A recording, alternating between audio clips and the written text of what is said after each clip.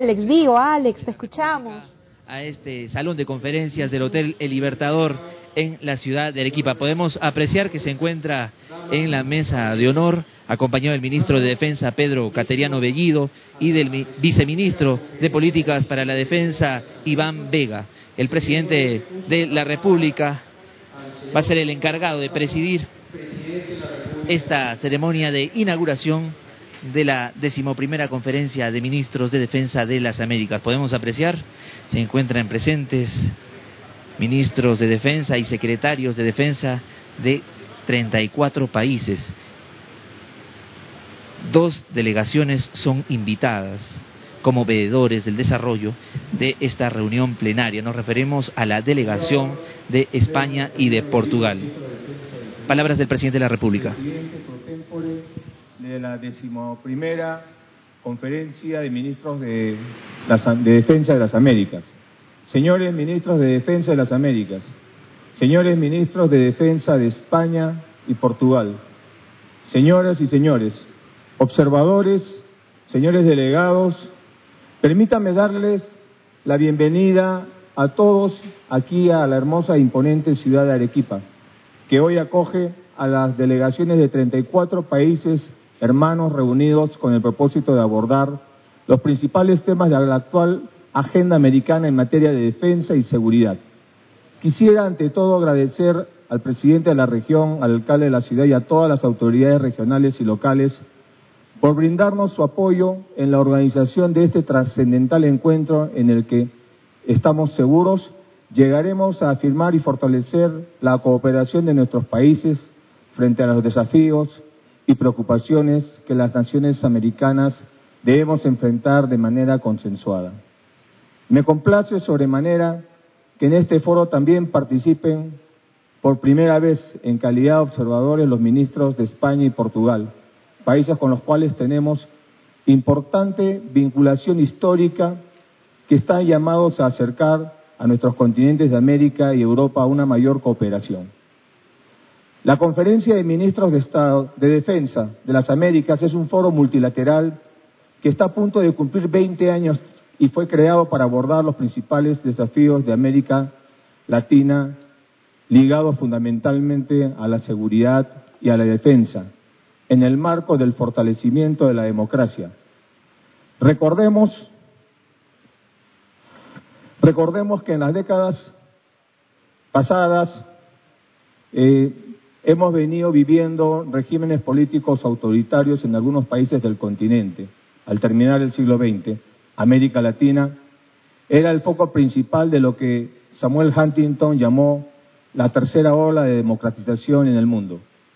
Asimismo, la caída del muro de Berlín, la Guerra Fría, la desaparición del Pacto de Varsovia, la transformación de los países de Europa del Este habían generado un cambio estructural en el sistema internacional, lo cual obligaba a otras regiones, como la nuestra, a articular nuevos espacios de cooperación en materia de seguridad y defensa.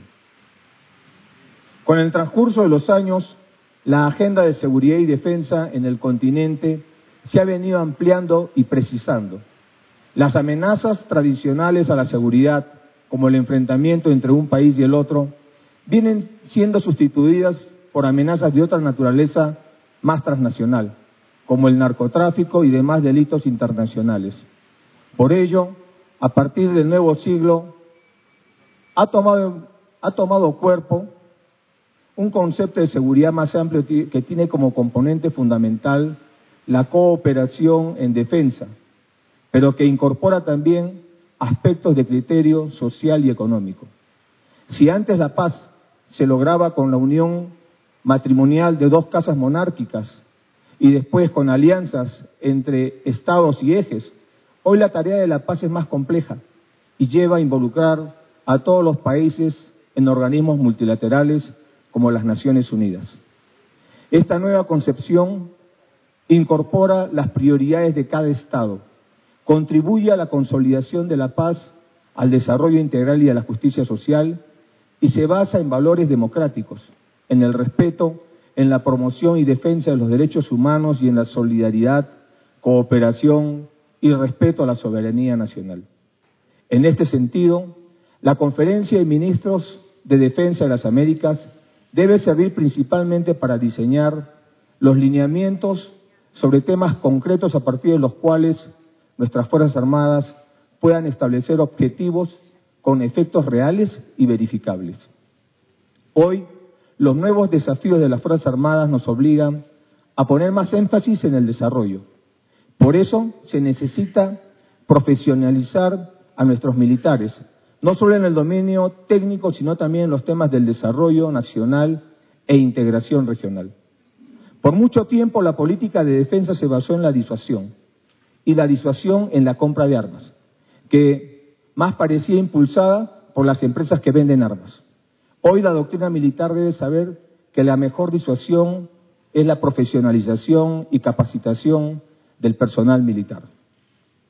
Por ello, nos complace que en esta conferencia estén presentes dentro de sus ejes temáticos el trabajo que se realiza en cuanto a la búsqueda y rescate, así como el desarrollado en el medio ambiente y defensa. A ello agregaría la formación de cuerpos de médicos y de ingenieros militares de nuestros países que enfrenten epidemias y contribuyan al desarrollo de infraestructura civil al servicio de nuestras poblaciones. En todos estos temas, los países del hemisferio debemos estar en capacidad de articular esfuerzos para intercambiar experiencias y establecer capacidades comunes. La acción conjunta de nuestras Fuerzas Armadas ha demostrado que puede ser muy útil para enfrentar amenazas de este siglo y ha fortalecido la confianza entre nuestros países. Una muestra palpable la vivimos el pasado mes de abril en el Perú cuando llevamos a cabo en Pisco un ejercicio multinacional de integración denominado Cooperación 3 para atender situaciones de desastre natural, apoyo humanitario y búsqueda y rescate de damnificados. En escenarios supuestos de un país afectado.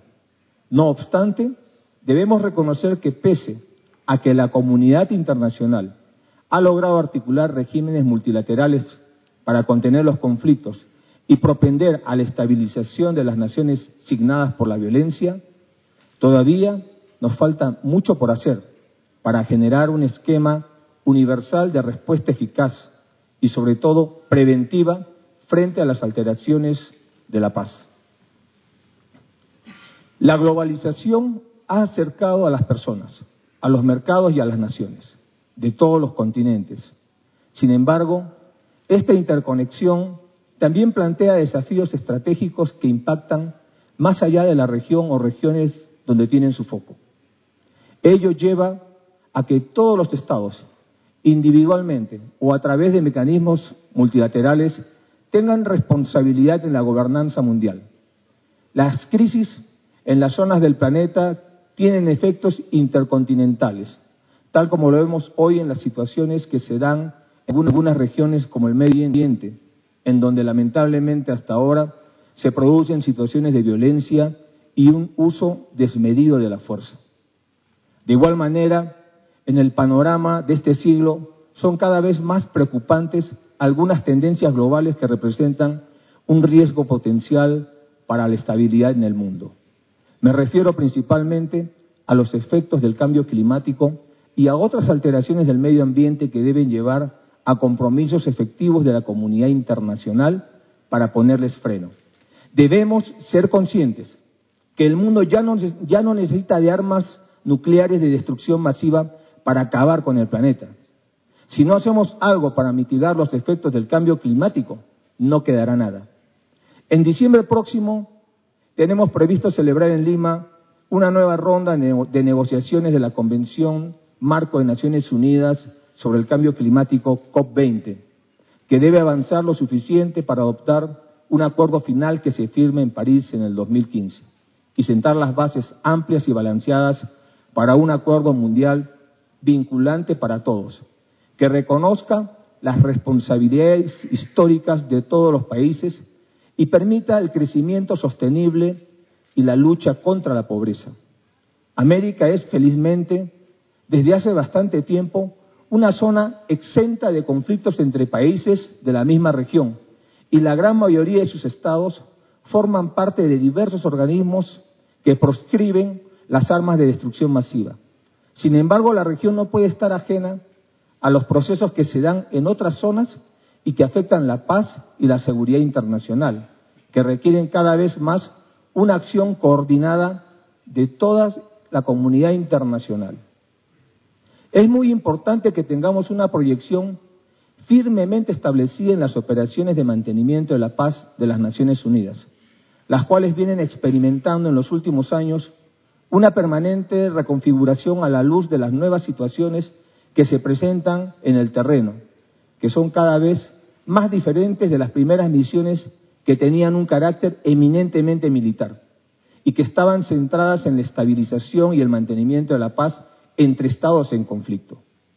Consideramos que es pertinente adoptar posiciones comunes en esta área tan significativa para la gobernanza global, en las que los países del hemisferio vienen ya participando en diferentes niveles, pero de manera activa.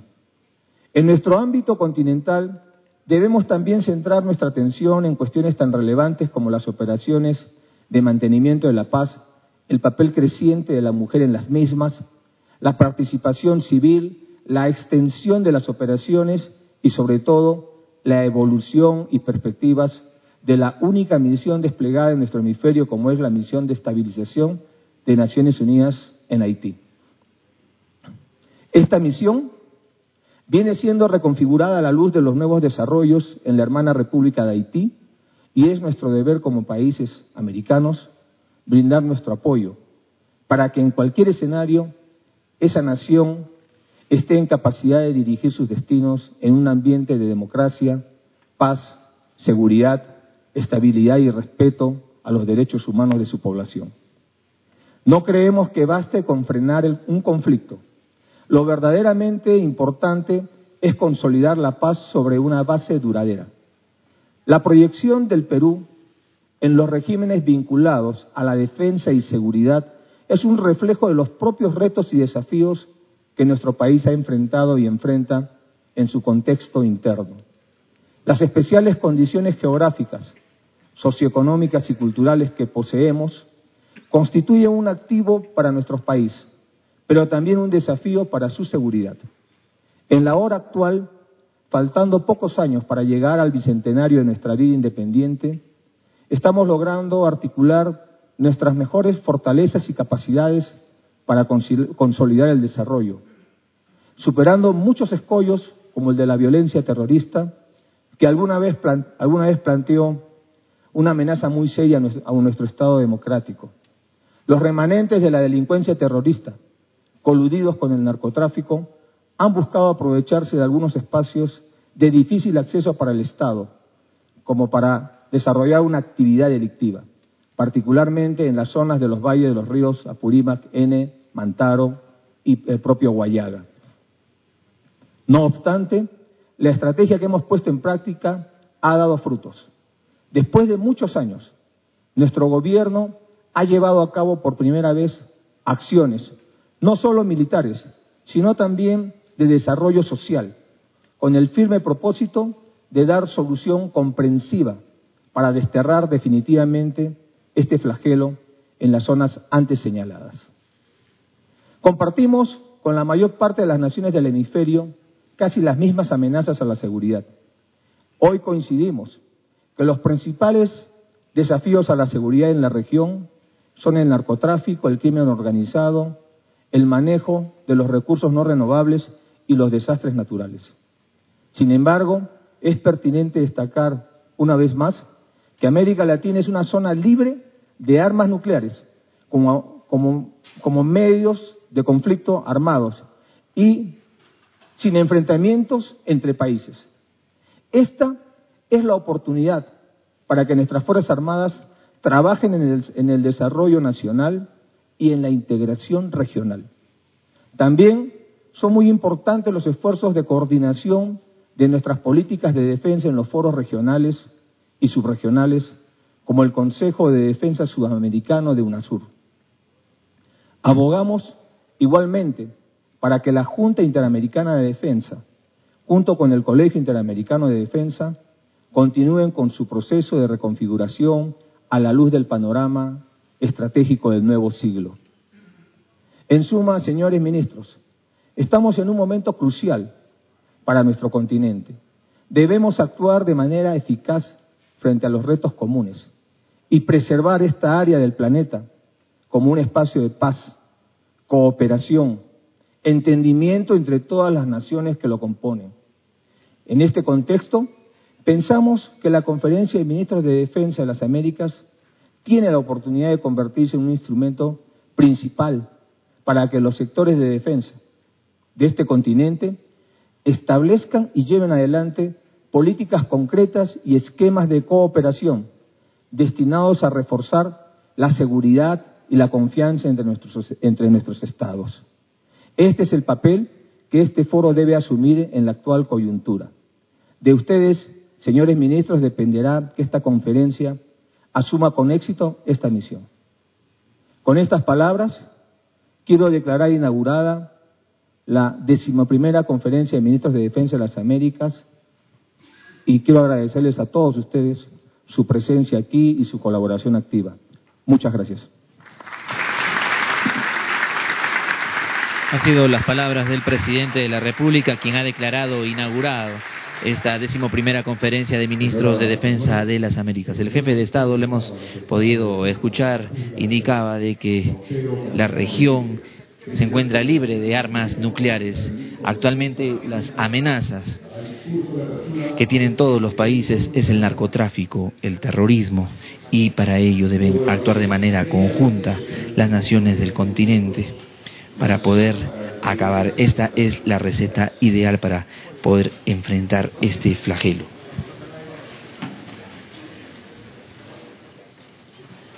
Esta reunión de carácter bianual fue creada en el año 1995. Por primera vez se realiza en nuestro país. A continuación, los representantes de las diferentes delegaciones acompañarán al presidente de la República para pasar en otro ambiente del Hotel El Libertador a participar de esta fotografía.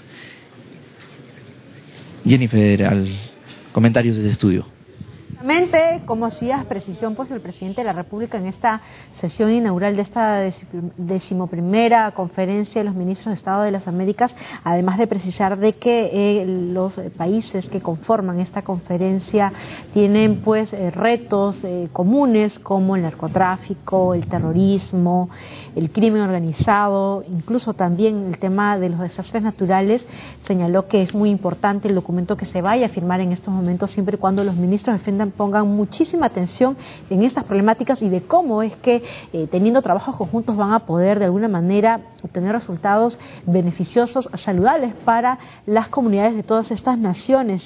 Él ha dicho justamente al final de la locución de que los ministros de Estado de eh, las Américas eh, tienen de defensa tienen en sus manos un importante rol y una muy importante oportunidad pues de convertirse en un instrumento para llevar la paz. Ha resaltado que justamente en los países eh, que conforman esta región no hay hechos de violencia eh, como guerras que de alguna manera pues eh, imposibiliten convertirse en una zona de paz en el mundo. También abogado para que la Junta Interamericana de Defensa siga con su reestructuración.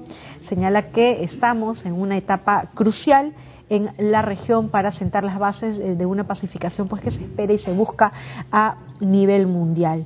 Dijo que es pertinente adoptar operaciones de mantenimiento de la paz y para ello pues hay que utilizar o hay que realizar estas operaciones de mantenimiento de paz a nivel local, a nivel regional para que luego sea a nivel mundial se comparten flagelos, ¿no? como decíamos, en común el narcotráfico, el terrorismo, el tema de la operación eh, de los, del tráfico, el crimen organizado. Esto es una oportunidad para que las Fuerzas Armadas de nuestros países, así ha precisado el presidente de la República, trabajen en estrategias conjuntas. Vámonos rápidamente a escuchar al presidente de la República.